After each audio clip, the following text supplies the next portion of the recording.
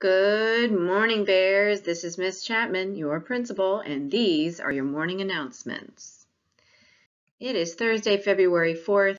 We are finishing up this week with virtual learning for everybody, and we'll transition into an asynchronous day on Monday, February 8th, and then February 9th, which is a Tuesday, will be in-person learning for those families who chose that on the parent survey back in December.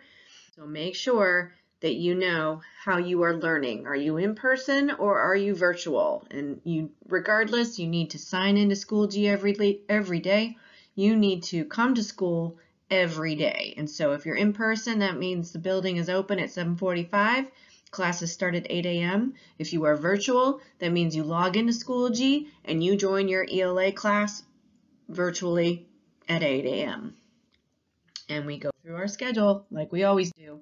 So happy birthday to all the February birthdays this week. We have multiple kiddos on this list, so shout outs to you and I hope you have a wonderful birthday. Our Black History Month continues this week as Miss Fleming is making sure that we all know about famous Black and African American historical figures.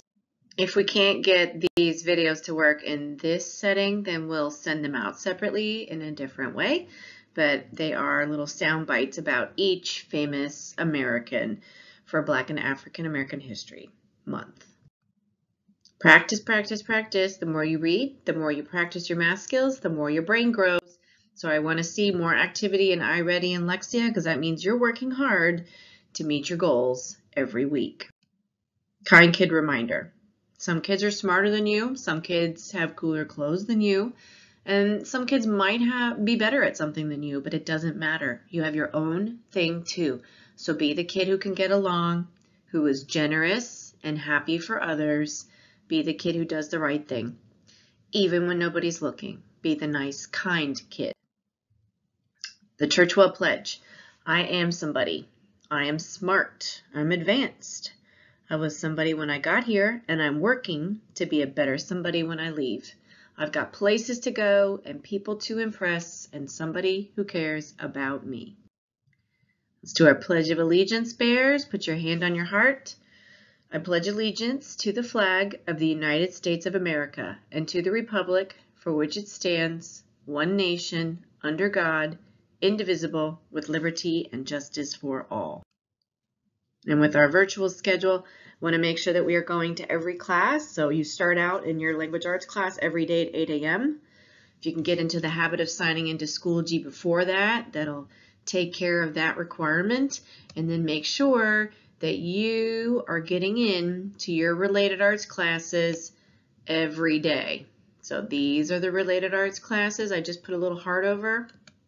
Let's make sure that we get into these classes so you can go and find out more about music, art, PE, and library, right? Because that's how you make your brain grow. All right, I want you to have a thrilling Thursday. I want you to check out all the social media updates that we have on Facebook, Instagram, Twitter. Have a great day of learning, scholars, and you're going to find out more about attendance. If you have perfect attendance every day during the week, you could get a prize at the end of the week and also have your name shouted out in a fun Friday moment in the afternoon on Friday. And then also you could be eligible to get your class the attendance cup week to week, as well as be eligible for a pizza delivery to your house. How cool would that be? More to come. Stay tuned. Have a great Thursday.